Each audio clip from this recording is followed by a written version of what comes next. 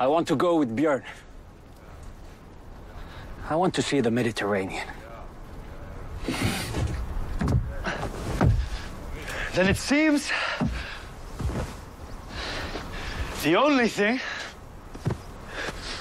that really kept the sons of Ragnar together was the death of their father. Yep, you heard that right. I want to go with Björn.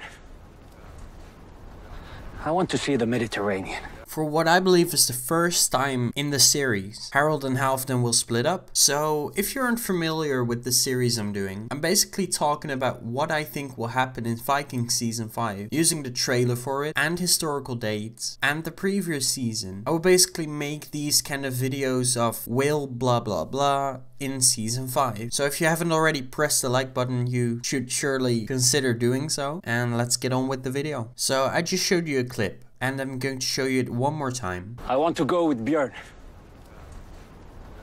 I want to see the Mediterranean. If we take a closer look at Harald's face, you can see that it wasn't an act. He was clearly shocked about what Halfdan said, because everybody knows Harald wants to take over Kattegat. But how is he going to do it without his brother? His brother is going to travel with Björn. But is Halfdan really going with Björn to see the Mediterranean? Or is it a deal that Harald and Halfdan made between them to overthrow the Sons of Ragnar? Because if nobody else is going with Björn, like the Sons of Ragnar, the other four, they're not going with him. So it's Halfdan and Björn. This could end up bad. But I don't think that Halfdan will betray Björn. So will Harald's rise to glory be all by himself? Or will he still have the help of his brother? I guess we'll just have to wait and see in the next season of Vikings. I myself think that Harald and Halfdan will still try to overthrow the Sons of Ragnar together. So not just Harald. That was the video for now. At least the Viking part. Because there's a little thing I want to talk about. I never really had the chance, besides on Twitter, to thank you guys for 100,000 subscribers. I mean, I already have the play button now. I'll show you on the screen right now. Boof. So yeah, from the bottom of my heart, I want to thank each and every one of you. Anyways,